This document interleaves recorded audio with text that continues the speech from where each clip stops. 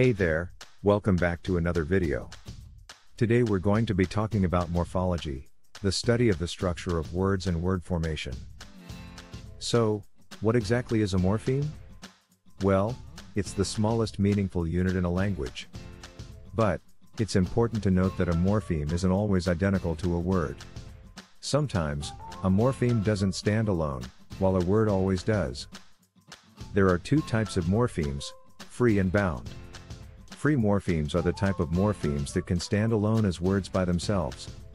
They have two categories, lexical and functional. Lexical morphemes are also referred to as open class, because we can add morphemes to these words. Examples of lexical morphemes include nouns, verbs, and adjectives. Here are two examples of free lexical morphemes. Book, run. Both book and run can stand alone as words and are examples of free lexical morphemes.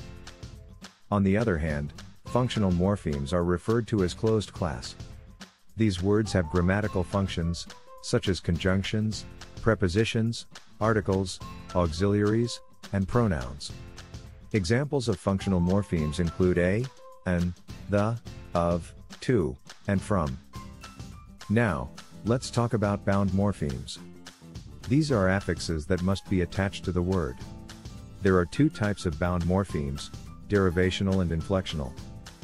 Here is an example of a derivational morpheme. The can be, class changing and class maintaining. Let's go with class changing. An example is ize. The morpheme ize is a derivational morpheme because when it is added to a free morpheme, it changes the category of the word. Fro the adjective modern, it creates the word modernize, which is a verb. Here is an example of a class-maintaining derivational morpheme. Hood. The morpheme hood is a derivational class-maintaining morpheme that is used to form nouns. When hood is added to the free morpheme child, it creates the word childhood, which is another noun. Inflectional morphemes are morphemes that are used to indicate the aspects of the grammatical function of a word. Examples of bound morphemes includes er, essie, ear, and ed. To summarize, morphology is the study of the structure of words and word formation.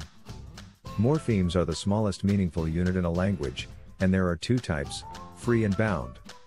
Bound morphemes have two categories, derivational and inflectional. Derivational morphemes change the category of the word when it's added to the free morpheme, while inflectional morphemes are used to indicate the aspects of the grammatical function of a word.